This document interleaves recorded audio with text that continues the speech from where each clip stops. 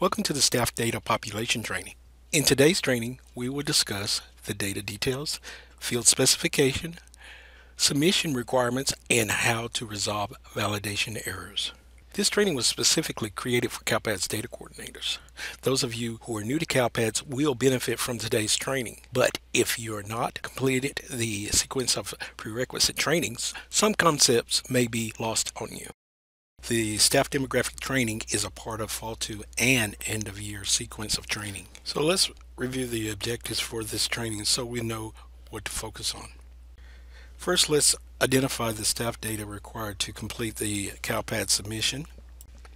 Next, we want to prepare for the staff data requirements by being aware of changes and their impact.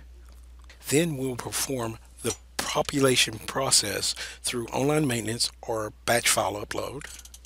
And lastly, we'll take a look at the resources, technique, tips for staff demographic error correction process. Here is the agenda for this training. We will discuss the following.